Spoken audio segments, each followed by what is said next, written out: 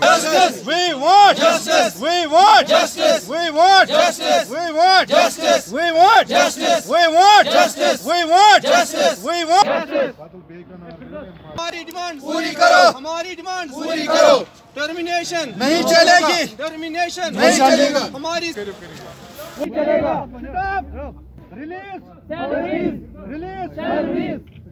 گا ہماری ہماری مانگے پوری کرو۔ ہماری مانگے پوری کرو۔ ہماری مانگے پوری کرو۔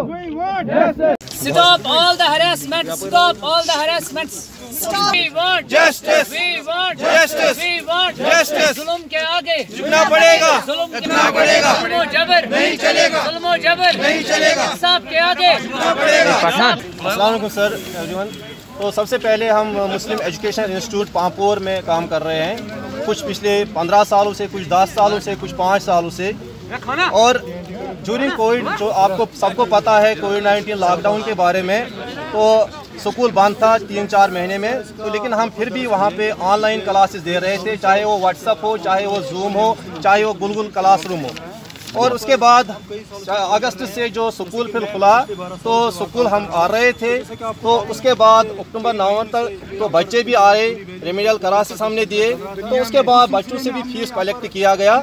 Near about eighty percent plus بچوں نے فی بھی بھرا ہے کیونکہ ہم ہی ان کو ونٹر اسائنمنٹس دیتے تھے تو اس کے بعد ہم نے بھی پھر ڈیمانڈ کی تھی ہم نے سکول اتھارٹیز کو بتایا تھا کہ ہماری جو سیلریز پینڈنگ ہے تو نیئر اباؤٹ ان ایگریگیٹ وہ ہے near about seven months salaries تو ہم نے یہی ڈیمانڈ کی ہماری سیلری جو ہے ہماری فائنانشیل ڈفیکلٹیز گھر میں ہیں تو وہ ہمیں ریلیز کیے جائے اگر تھوڑا ہی کچھ ہوگا تو اتنا ہی کرو، ایک دو مہینے تاکہ ہماری جو فائنانشیل ڈفیکلٹیز ہے وہ ختم ہو جائے۔ لیکن اس کے برعکس اس سکول اتھارٹیز نے ہمارا کچھ نہیں سنا۔ اور ہم پھر مجبور ہو گئے، ہمارے ہم نے سی او آفس پلوامہ میں بھی بھی کمپلینٹ کی۔ اور وہاں پہ بھی ان کو بلایا گیا، وہاں پہ بھی انہوں نے کوئی بھی ویلڈ پراپر ویلڈ ڈاکومنٹ پیش نہیں کیا گیا۔ بار بار ان کو وہاں پہ کیا گیا آپ ہمیں پراپر ڈاکومنٹس یہاں پہ بینک اسٹیٹمنٹس پیش کرو۔ لیکن یہ دے فیل ٹو پروڈیوس دیا اور اس کے بعد اس کے برعکس ان ریپلائی ٹو دیٹ انہوں نے بائی پوسٹ بہت سارے ٹیچرس کو ہمیں ٹرمینیشن لیٹر بائی پوسٹ بھیجا گھر میں۔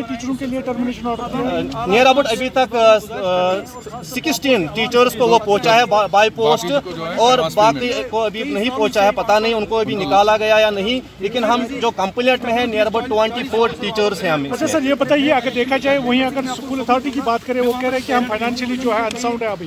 تو اس کے لیے کیا کہیں گے؟ کیا واقعی میں وہ انساؤنڈ ہے ابھی؟ سر یہ ہمیں بھی پتا تھا لاک ڈاؤن میں فائنانشلی وہ انساؤنڈ تھے۔ لیکن لاک ڈاؤن میں ہم نے وہ کلیم نہیں کی کہ ہماری جو لاک ڈاؤن سیری وہ ریلیز کرو۔ لیکن جب ہم اگست سے جو بھی میں نے بتایا اگست سے ہم بھی سکول آ رہے ہیں۔ اگست کے بعد انہوں نے اسائنمنٹس دیے بچوں بچوں کو فی کارڈز دیے ان کو یہ یہاں پہ سلیبس پرووائڈ کیا ونٹر ونٹر اسائنمنٹس دیے۔ تو پہلے ہم چیک کرتے تھے بچے نے فی بھرا یا نہیں، اسی کو ہم دیتے تھے۔ جس کا اکتوبر، نومبر تک جو فی کلیئر ہوتا تھا، اسی کو ہم دیتے تھے۔ تو اس سے ہمیں پتا چلا کہ نہیں، سکول والوں نے بھی بہت سارا فی کلیکٹ کیا ہے۔ تو اس کے بعد ہی ہم نے وہاں پہ ڈیمانڈ کی، ہماری کچھ سیلری بھی جو پینڈنگ ہے، وہ ریلیز کی جائے۔ لیکن اس کے برعکس ہمیں ٹرمینیٹ کیا جا رہا ہے۔